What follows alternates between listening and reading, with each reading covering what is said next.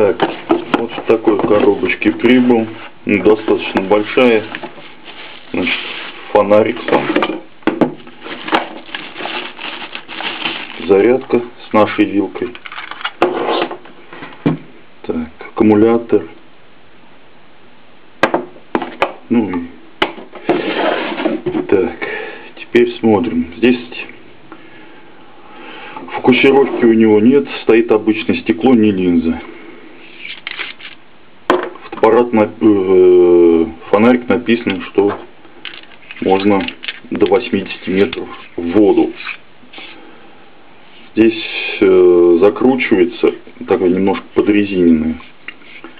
Привычной кнопки нет, включается просто вот здесь такой движок.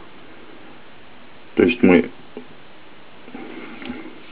не докрутил резиночку.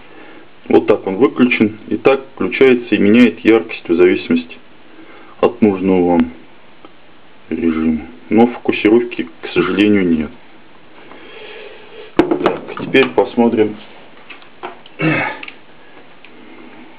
как он будет у нас держать воду.